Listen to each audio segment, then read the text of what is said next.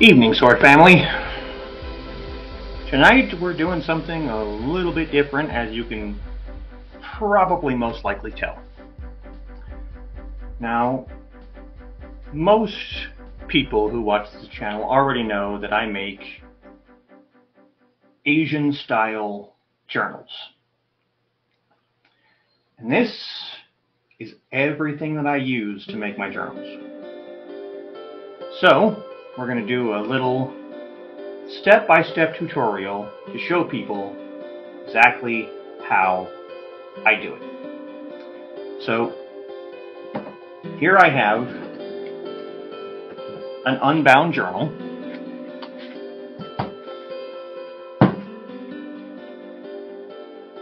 Lined paper on the inside. There's the front cover. There's the back cover. Uh, first thing we're going to have to do is we have to plot out where the holes are going to go.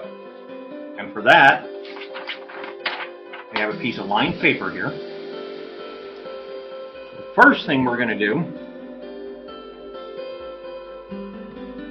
we're going to mark off quarter of an inch from the edge.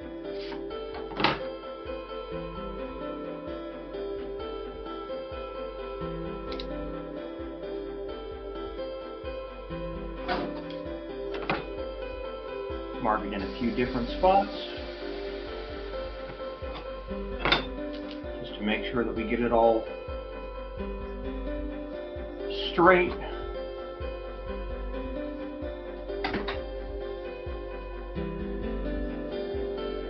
Try and make sure that everything's all lined up properly. And there we go. It's not a perfect straight line, but it doesn't really matter. Don't need the ruler anymore. So the next thing we do is take our paper we fold it once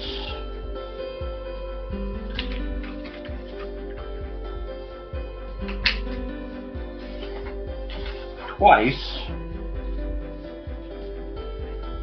and three times. Now we're going to open paper up. As you can see, we kind of have a little bit of an accordion effect here. We take our pen, we line up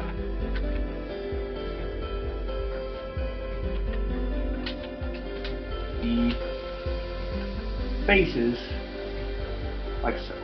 One, two, three, four. So that is where your holes are going to go.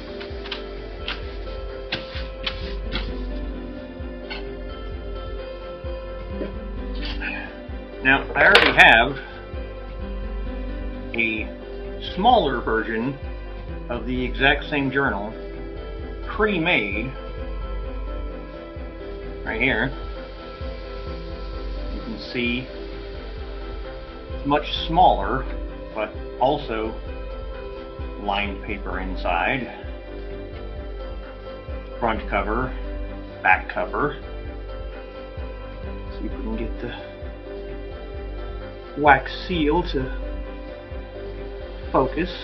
There we go. So we're just making basically a larger version of that. So now we're going to take some of our lined paper. You can't do it all at once. It has to be done in sections.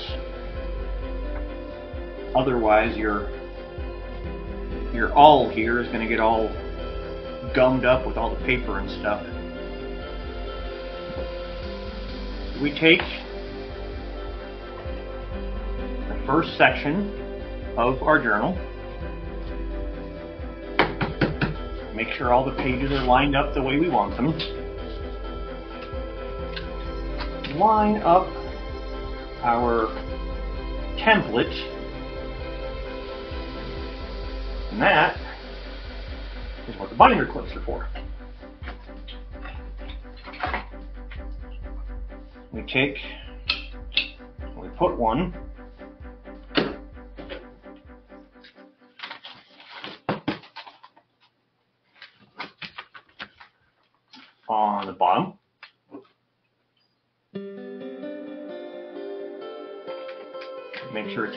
good and tight. Take another one.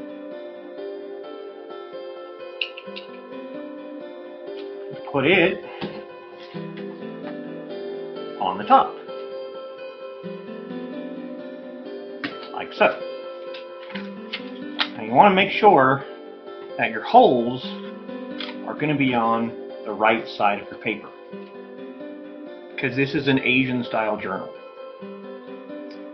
Binding is going to be on the right side instead of the left side like most most Western books are.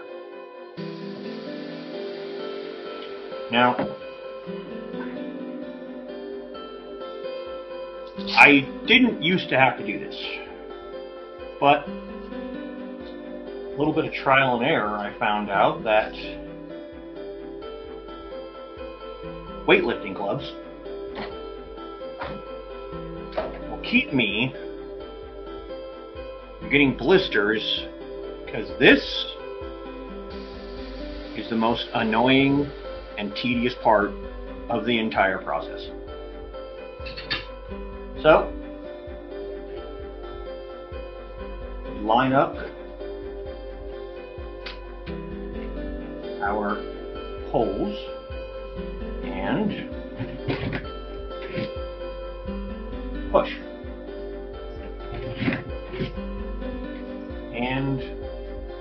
Some reason it's not wanting to go through.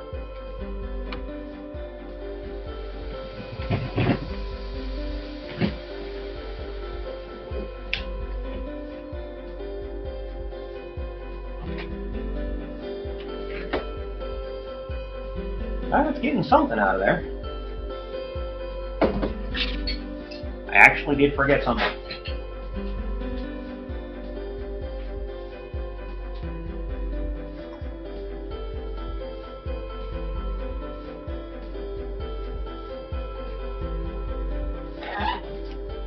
This is what I use to basically pick all of the little circles out of the inside up here.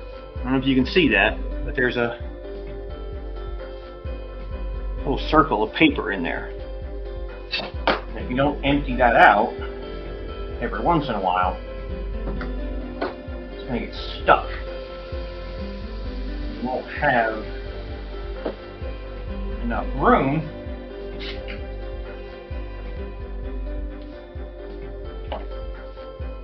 Come here.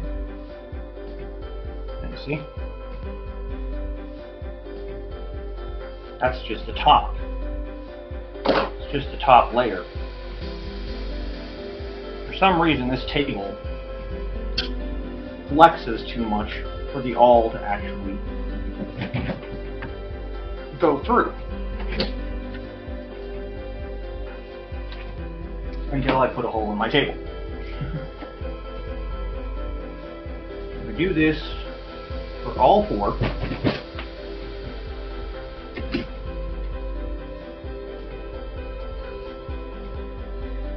All the way down the line. They're all not wanting to go through. Of course, the one time I actually want to record this, it's being a pain in my ass.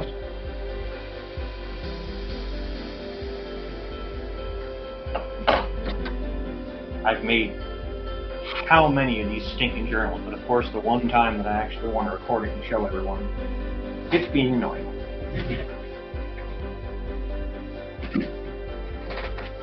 There we go. That one went through.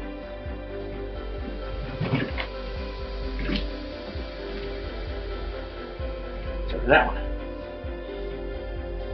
Now I'm only going to show the first set because this really, really gets tedious.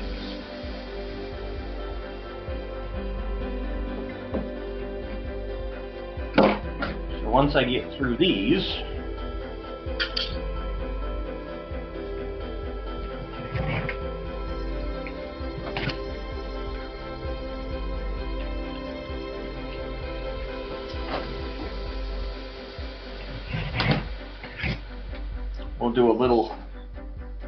editing magic to get through the rest of them.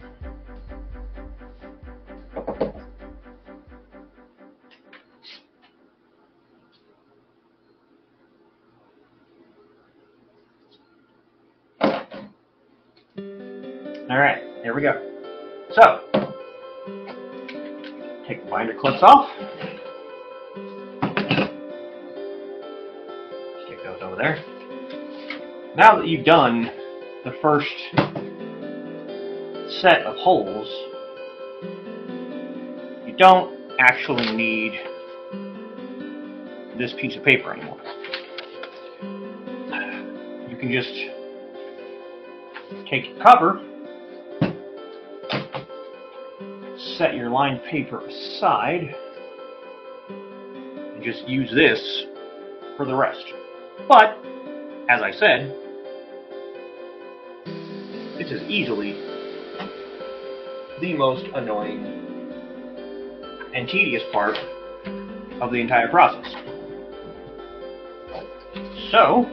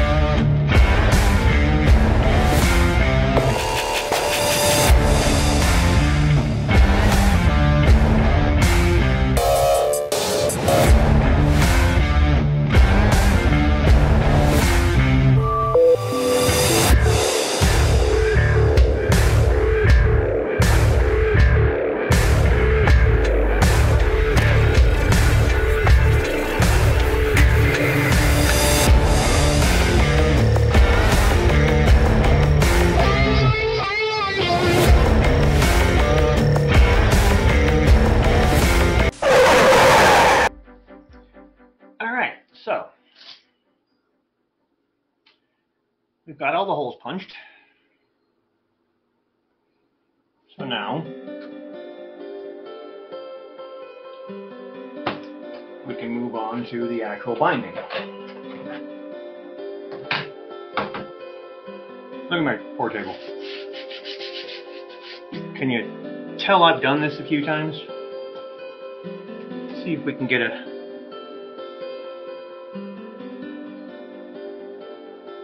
Yeah. I've done this once or twice on here.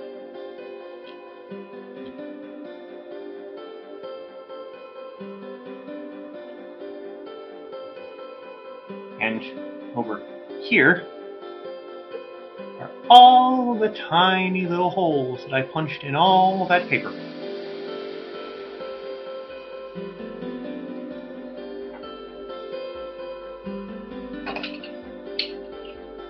Binder clips are done. Put those away.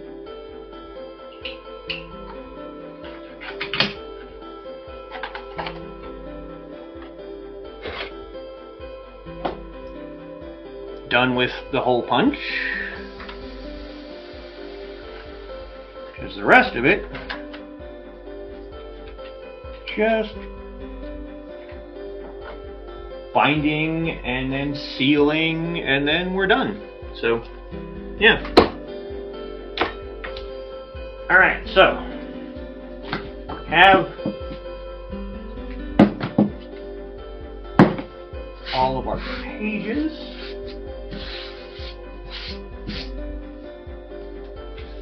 We have our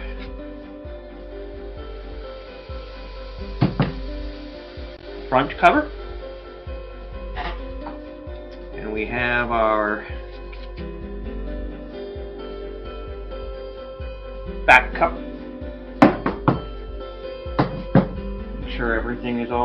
Lined up and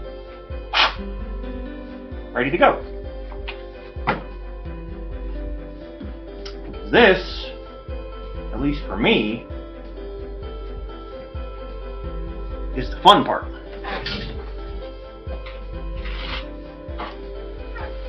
We have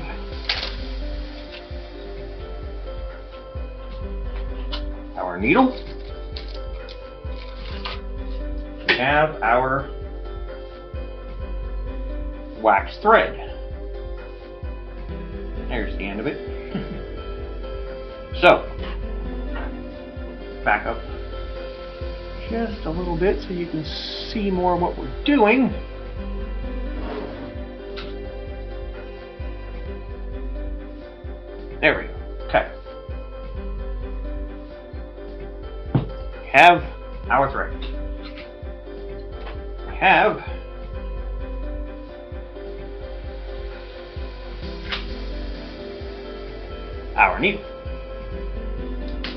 Now the next thing we have to do is to roll out the amount of thread that we're going to use.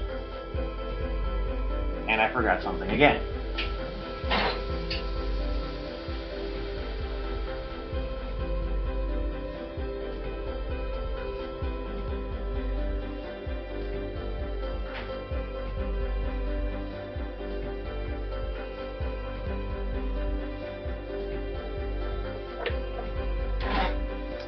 I don't use a knife to cut my thread because once this book is bound, it's remarkably difficult to get a knife into the bind on the inside to cut the thread when you're finished. Now I have small knives. I have quite a few of them. But none of them will fit once this is completely bound. So what do I use? Fingernail clippers. It works. It works really well, actually. So, set those aside. You're going to measure from one end of your journal, and go to the other, back across,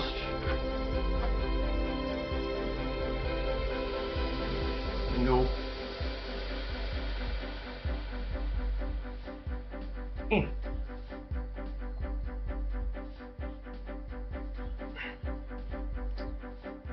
across again, and back one more time.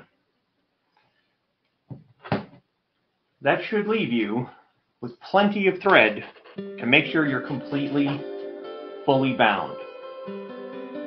So, we take our fingernail clippers. We're just gonna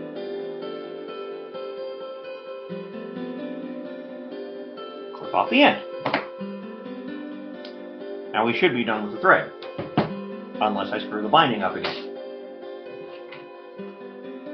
We're going to take our needle,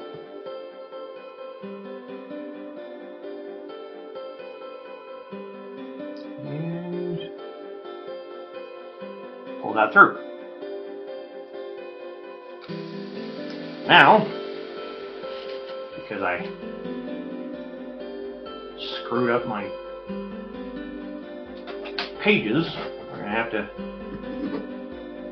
line them all up again.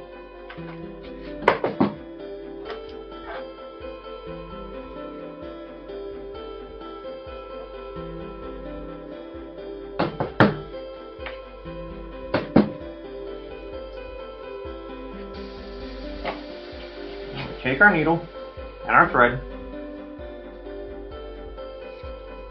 Go to the second hole. You're going to open your book to any point. It doesn't really matter which. Any point in the book. I usually try and pick somewhere near the middle. Doesn't always work out that way, but I try.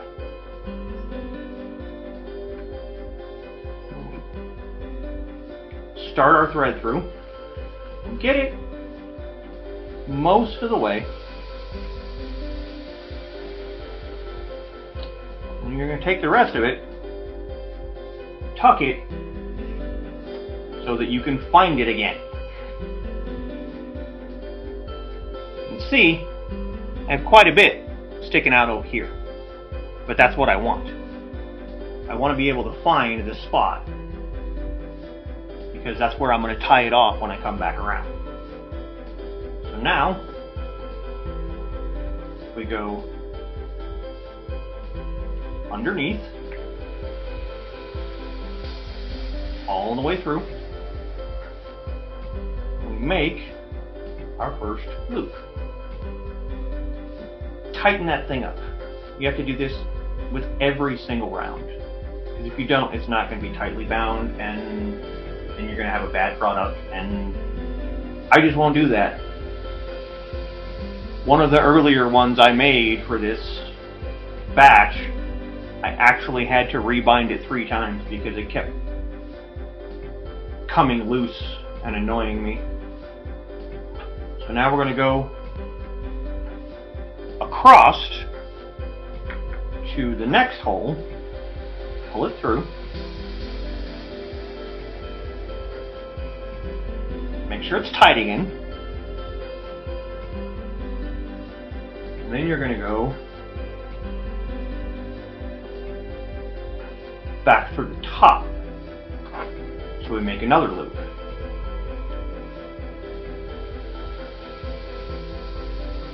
We tighten that one up.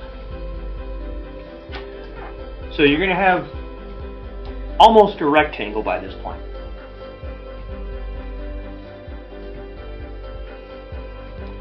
And we go to the next one, underneath,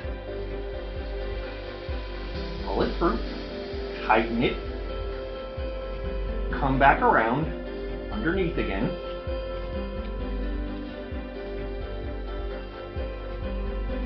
and make another loop. Now there's an empty space here. We're going to fill that when we come back around. Now, we come back underneath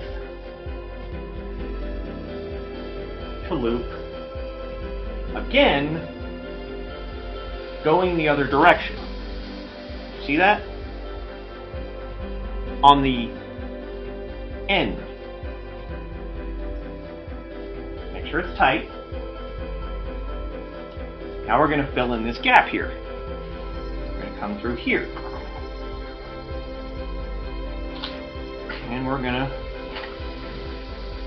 pull it through, make sure it's tight, and now there's a gap on the bottom. So now we're going to fill that gap in.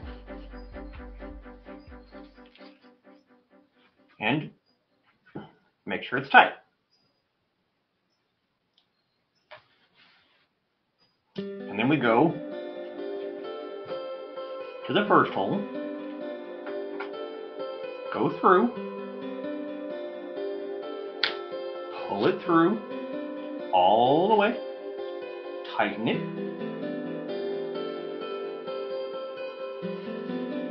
we make another loop here, just like we've been doing, pull it through, tight, tight, tight. Now we're going to go back around the top, like we did down here. Now we're doing it here. Now this is a spot where it tends to get a bit dicey. So we're going to go through, like we've been doing, make sure it's straight and lined up with all the rest. Tighten. Now, this is where this tail comes in. Because you're not going to go back all the way through. You have a gap here again. So you have to fill in that gap. You don't want to go all the way through. You want to go through to the point where you started. And only that far. So now we need to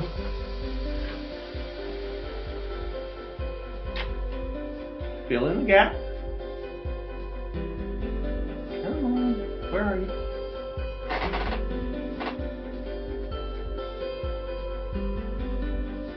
Nope, we're still a few pages up. And we're still a few pages up. Now see, this is exactly what I'm talking about. See this? It's come loose. So now, tighten that back up again. I will not ever accept a loose binding. I will redo the whole thing before I accept a loose binding.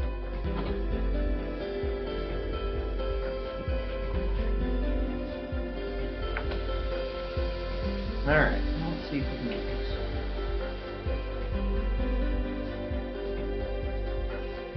And there it is. There's our needle. So now we're going to pull it through. And again, pull on that end. You want to make sure that's nice and tight before you finish because this is the end of your binding. Want to make sure all those vines are nice and tight. Now, loop your ends, cinch that thing down as tight as you can. Make sure check all your bindings on the outside. Now, loop it again, make a knot.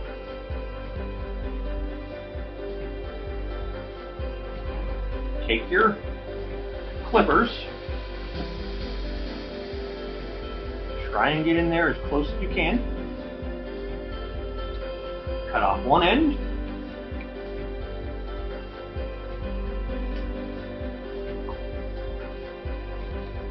cut off the other end, and voila.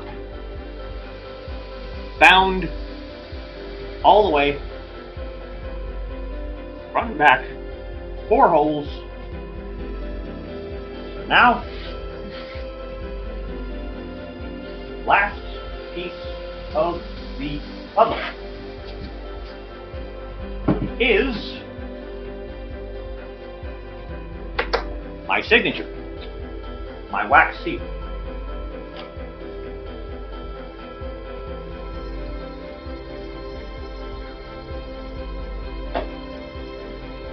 Seal is my own personal design.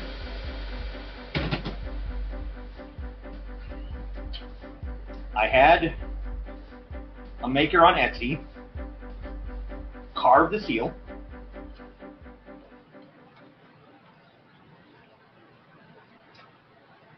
Gotta go with a black candle. I mean, come on, it is me.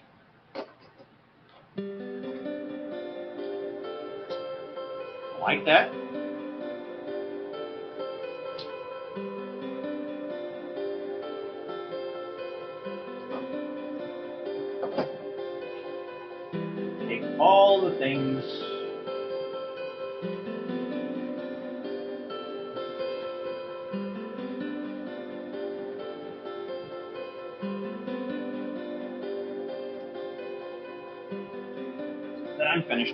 Them away.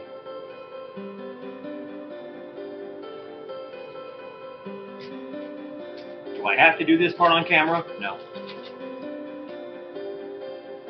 Will I edit this part out? Probably not.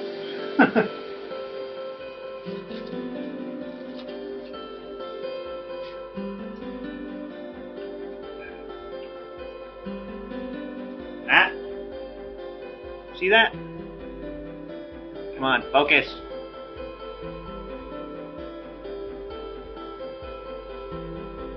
That's my wax seal.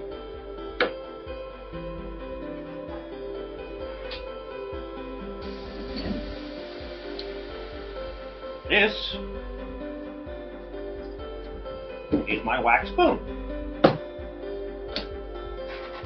And these are all my lovely new wax beads that I just recently purchased. I will stick the link to these in the description. So now comes the fun part. We have a green journal, single color, green, front and back. On the small journal, we have red and gold. I don't have any more of these colors. They're gone. So, we're going to pick from all of these new ones to see what we're going to do. Now, I usually have three beads per seal. I want to have this. I want it needs to be big enough that it's going to cover this. Let's see. We think of this kind of gold-ish color two of those. Take this kind of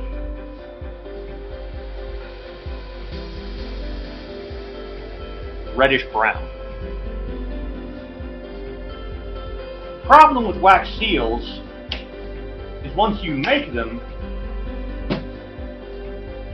you can't unmake them.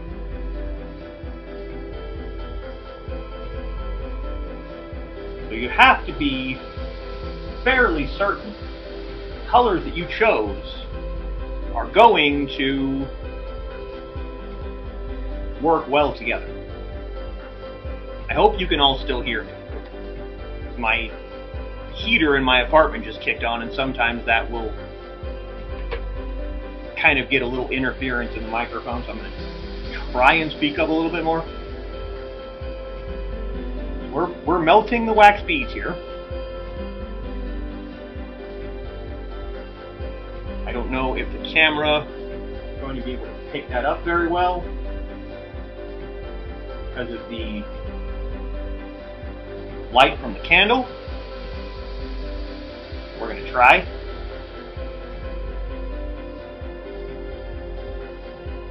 There we go. You can see them. They were solid beads, and now they're starting to melt.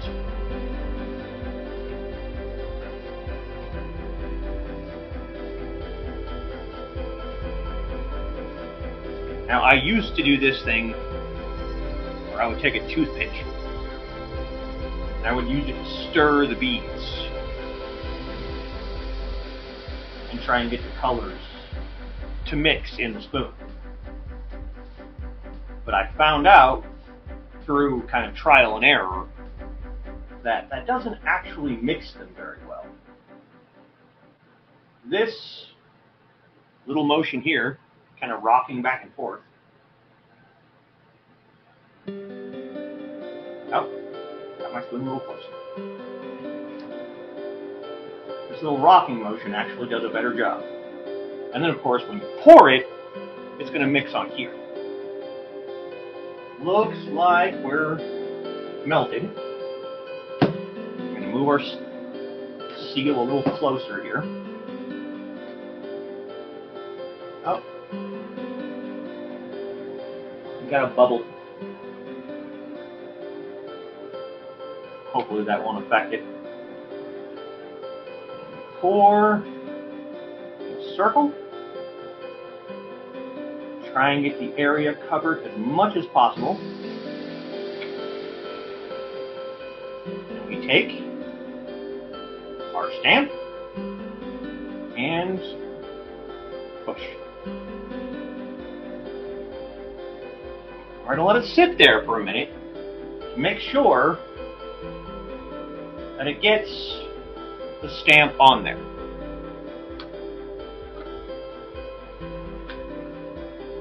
And there we go.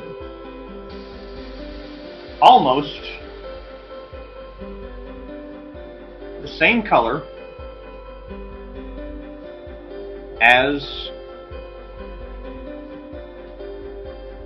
the smaller one.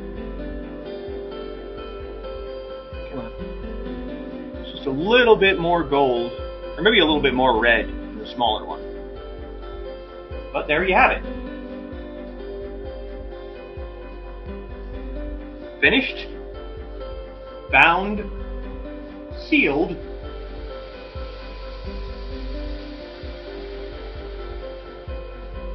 Asian style, red. From right to left instead of left to right.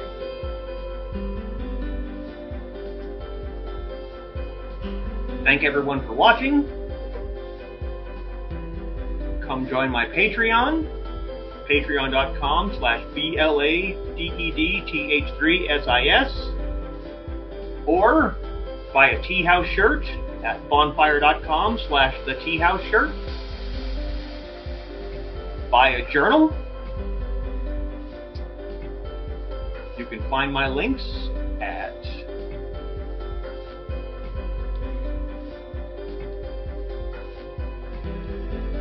indiecd.org. I hope everyone enjoyed this. I enjoyed it a great deal. This order is finally finished. This video is finally finished.